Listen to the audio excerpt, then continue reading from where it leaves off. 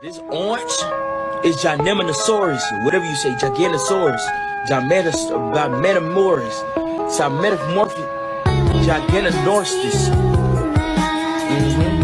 mm-hmm.